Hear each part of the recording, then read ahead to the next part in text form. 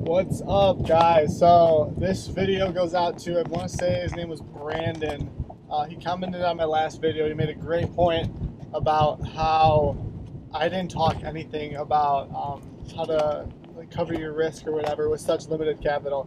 How it all depends on how much money you basically have available to invest totally. And if you're young, dude, if you're 18, 19, like a thousand bucks ain't shit. Like you'll be fine losing a thousand dollars. Don't lose that thousand dollars. Like if you're gonna invest, make sure you make a great investment. Don't lose it. But if hypothetically you were to, you'll live. I promise you'll live.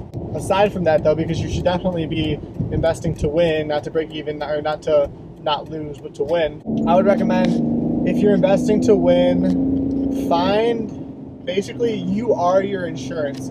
So instead of picking things that have basically any risk, you are like like I said, you're the insurance policy. You take out all the risk factor. It's all about how well you think you can sell. And I, my comment back was something called drop shipping. So eBay and Amazon have something where you can basically, if you're, what Steve Jobs did with Apple was before he even had a MacBook created or made, he sold the idea to people who would give him orders or whatever. So he already had, I want to say it was like 40 orders for MacBooks out the door, and he hadn't even made the first one yet. And then created after he already had it. So using the same mentality basically as Steve Jobs, if you find something for $100 that you know is going for 200, have test the market out first. So post some things for sale or tell some people about it that you're basically that you know will buy it no matter what. It's you get enough people, if you get, let's say you have one product you buy for a hundred dollars, sell it for five hundred. Instead of only finding one person to buy it, find ten people to buy it. This is where the creativity comes in. Um, not only does it create a larger demand because there's more, um, there's only one supply where there's ten demand compared to one on one, which is basic economics, obviously. But um, it allows you to have 10 backup plans basically. If the one person doesn't buy it, you have nine other people who are looking to already purchase the same exact thing. So that way you don't basically I consider that no risk. Like I consider selling no risk. If you can't close a sale, that's on you. Like or you're finding prospects that don't need your product. So basically if you find something that you have enough insurance policies basically to give yourself a put, which I talked about in the last video, which is a guarantee then you'll be fine if the one person that you're going to sell it to doesn't buy to.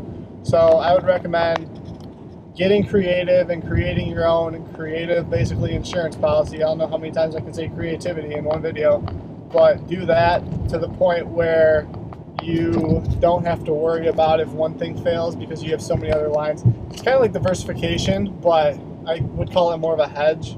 If it's, it's not technically either, but for the understanding purpose, call it a hedge. So Brandon, I hope that answers your question wonderfully. If it doesn't, by all means, you guys know where to find me. Twitter at the Josh Elbow, Instagram at the Josh Elbow. Don't use Facebook, so don't even follow me on there, like I said in the last video. Um, if this video helped, Brandon, I'm not sure if you're subscribed to me or not. Subscribed, if I could pronounce English.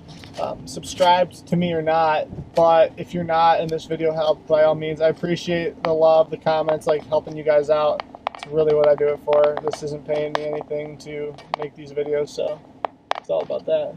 Look at this guy. Look at that watch. Look at that watch. Look at him go. But yeah, so until next time, guys.